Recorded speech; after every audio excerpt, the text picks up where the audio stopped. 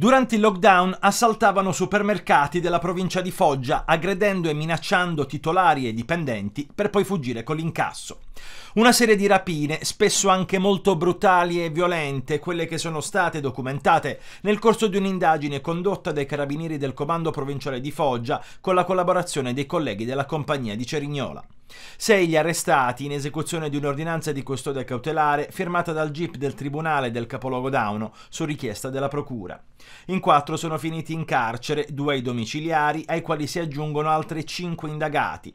Delle 11 persone coinvolte, 7 sono di Cerignola e 4 delle province di Foggia e Bat, in particolare dei comuni di Canosa di Puglia e Barletta.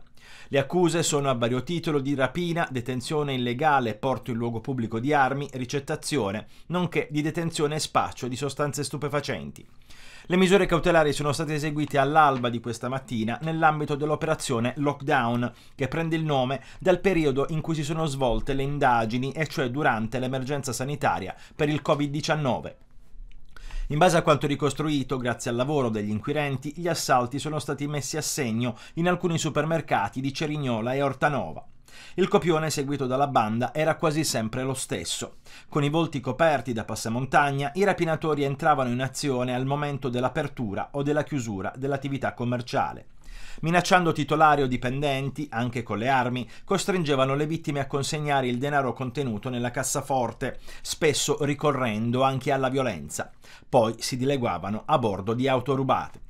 A contribuire all'individuazione di uno dei responsabili anche il RIS di Roma, che è riuscito ad estrapolare il profilo genetico da uno dei passamontagna trovati nei pressi dell'abitazione di uno degli arrestati. Partendo dalle indagini sulle rapine, i carabinieri hanno inoltre fatto luce su un vasto giro di spaccio di stupefacenti che vede coinvolti anche i due indagati residenti a Barletta e Canosa. Nel corso dell'attività investigativa 15 persone sono state denunciate a piede libero, mentre sono state sequestrate 3 pistole clandestine, circa 200 munizioni di vario calibro, 5 caricatori per pistola mitragliatrice Scorpion ed oltre 3 kg di stupefacenti, tra cocaina, hashish e marijuana.